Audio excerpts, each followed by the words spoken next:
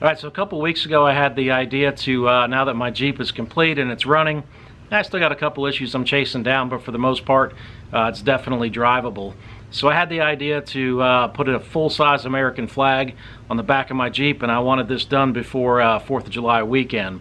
And I really enjoy 4th of July. It's a very patriotic holiday, and it's uh, probably one of my favorites. So it's a lot of fun for me.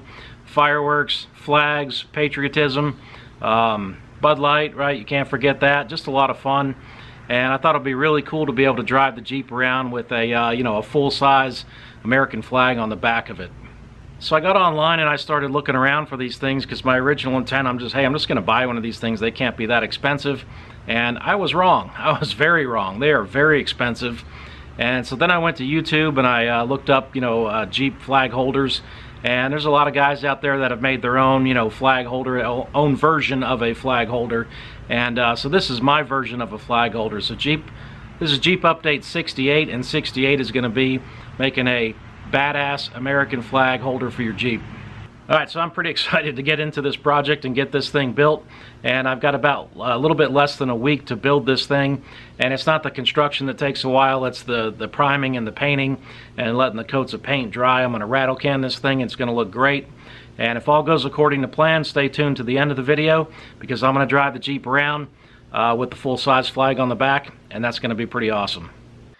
All right, like I mentioned, I'm really excited to uh, get started on this project and get this thing built. It's going to be a lot of fun, and it's going to be really cool uh, to drive this thing around with the uh, flag on the back of the Jeep. Just really, really cool. Really excited about it. So let me show you guys uh, the materials that I have here. So this is just 2-inch square tubing, and this is just a scrap piece uh, that I use to kind of test fit things. Um, got some scrap steel over here over the years just accumulated from various projects and uh, there's the two inch piece that I'll actually cut uh, the piece that will go into the hitch because um, this piece right here is not long enough again just a scrap test test fit piece. All right this is a, uh, a hitch lock. Um, had that laying around in the garage so that worked out really well. Uh, a couple of carabiners and I'll show you how that uh, where these things tie into in a minute um, and I did have to buy a one inch hole saw. I did not have a one inch hole saw, so I did buy that from Amazon. And I also bought uh, these eye bolts.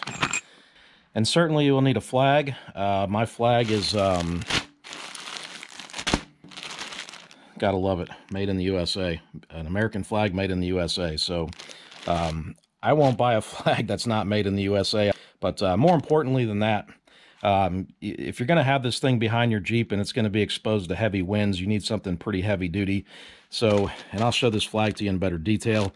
Uh, but this is a nylon flag uh, with embroidered stars and embroidered uh, stripes, and that's going to hold up a lot better to wind. Um, certainly you can buy a much cheaper flag, um, but it's not going to hold up uh, behind your Jeep in heavy winds. All right, so the basic concept concept of how I'm going to build this is this piece will go into the receiver. Uh, obviously, the receiver lock will go in there like that, so I'm going to have to drill a hole uh, through this side and then also through this side, and that's what uh, this big drill bit is for. So that should take care of that and make short work of that. Um, then, so picture this in the in the receiver hitch, and then this uh, one inch hole saw I'm going to use to drill a hole for the pipe. Now this is uh, black pipe that I use for uh, woodworking and I use them for clamps. And they're threaded on the end so you can thread on your um, well let me show you one. So that's kind of what they look like and you can buy those ends and then you can buy the pipe uh, just like at Home Depot. And the pipe is not very expensive if you do have to buy it but uh, luckily for me, um, I didn't have to buy one because I've got one. And the reason that I want to use this particular pipe, you can see at the end there, I don't know how well that'll show up, but it is, there you go. this pipe is bent. So this is going to be my uh, sacrificial pipe since it's already bent. And I kind of already drew a line right there that I think will take the bend out. And I just hope that I have enough length from here to the end of the pipe to, to you know to put the flag up where I want it. And if you know, and if not, if it's not long enough uh, after cutting the bend out, um, then I'll just sacrifice this guy over here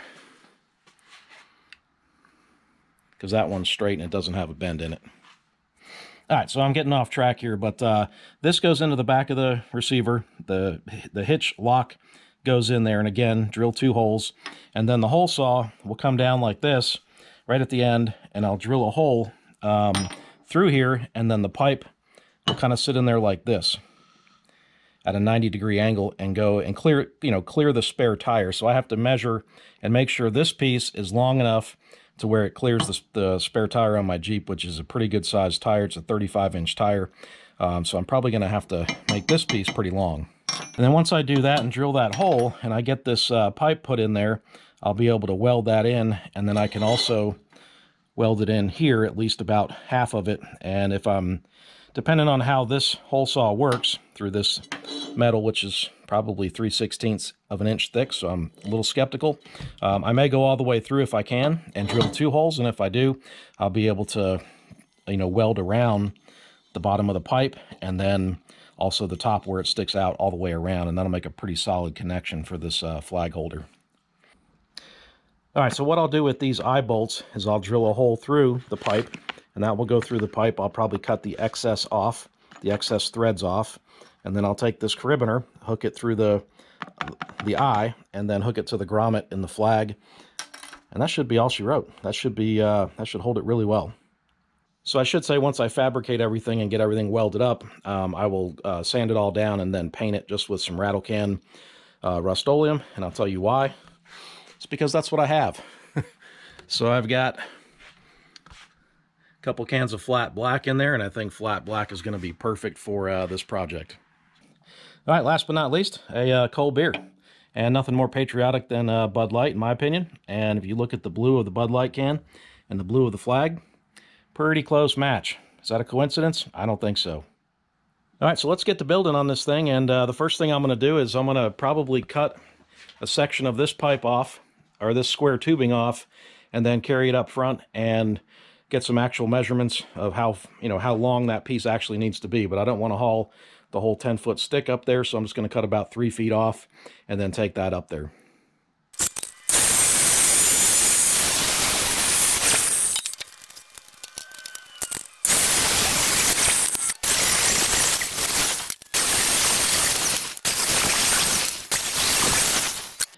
All right, what you just saw me doing there was uh, taking these ends and just kind of cleaning up these ends. I put a slight uh, chamfer on the very end, and that's to kind of help uh, help this thing slide into my receiver hitch because I had my rear bumper Line-Xed and it's a little bit tight, uh, and it was really tight uh, when I did the test piece right there. So I just thought I would kind of clean that up a little bit and hopefully make that go in a little bit easier. All right, I'm ready to go up and test fit this piece and get the uh, length. Uh, to help me with that, I'm going to use this drywall square, and I will put it on the square tubing like this and help me determine the length of this. So let's go get this thing measured and cut. All right, so there's the uh, two-inch uh, receiver in my uh, rear bumper. This is a uh, Rock Hard 4x4 rear bumper.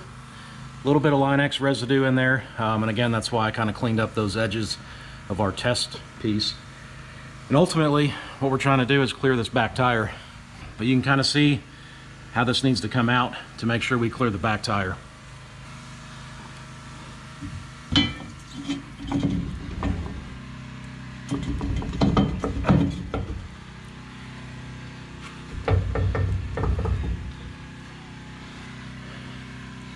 All right, fits pretty good.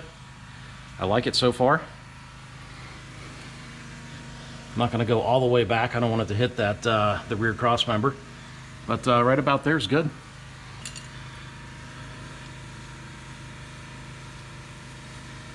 So I'm going to mark that spot right there, and I'll do the same thing on the other side. But more importantly,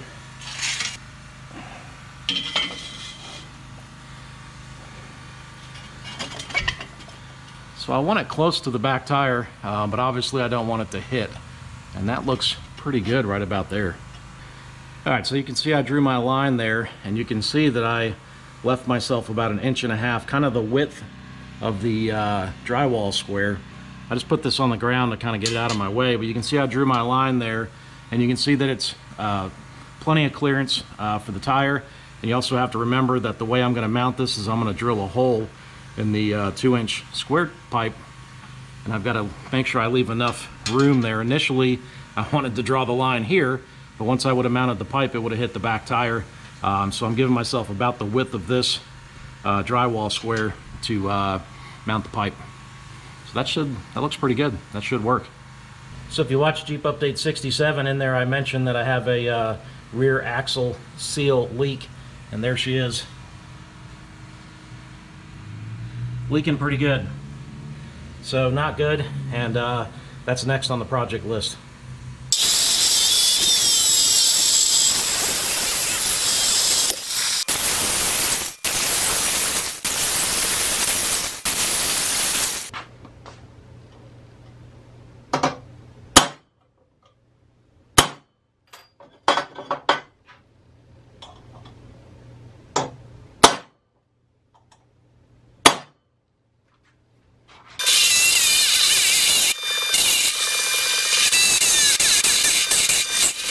All right, so as you just saw, I got my uh, hole for my hitch lock, and uh, you know, I didn't really measure this. I just got the biggest drill bit I could find. So let's see if this thing fits. Oh, that is nice, nice and tight. I didn't want it loose because I didn't want it to rattle around. And boom, there it is. Perfect. All right, next up would be on this end. On this end, uh, to drill a hole with the hole saw right here, one inch to fit the pipe.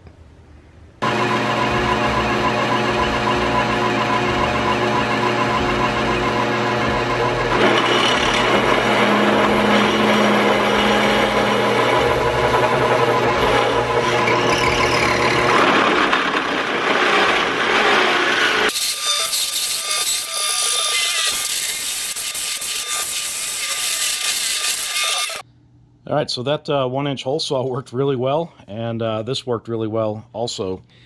Uh, you can kind of see the concept now. Um, that's in there, but it's really too tight to go any further than that, so I'm going to have to do some grinding on this just a little bit to get it to uh, go in and come out the bottom a little bit. But before I do that, before I invest the time in this pipe, I want to make sure, I want to go test fit everything and make sure that this pipe is as long as I need it to be um, and that everything uh, lines up and is working so far.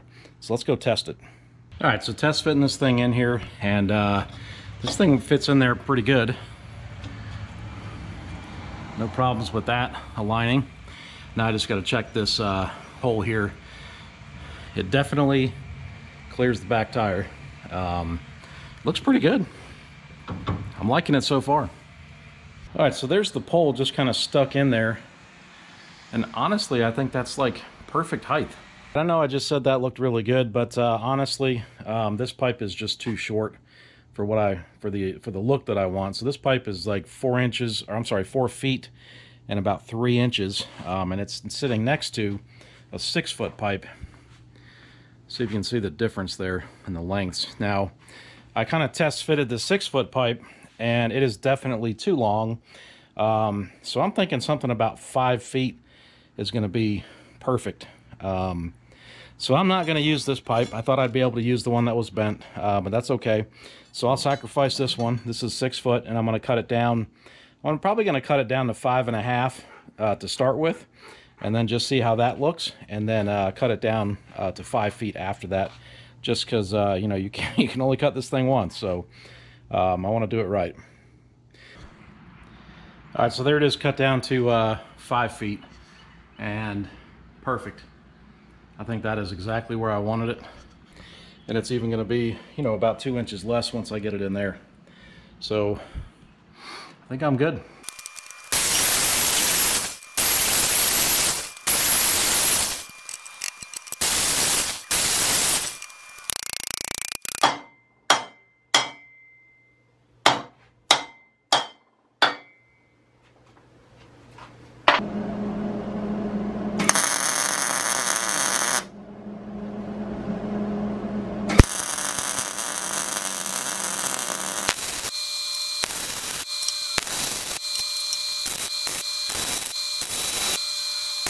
All right, so did some off-camera uh, work here. I put a cap on the end. Uh, got the welds ground down a little bit and uh, two holes drilled for the flag.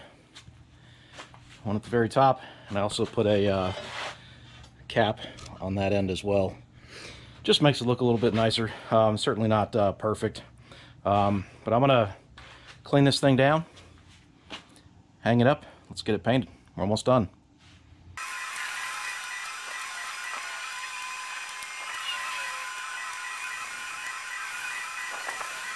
All right, so there she is all put together. Got the flag on, got it uh, painted up.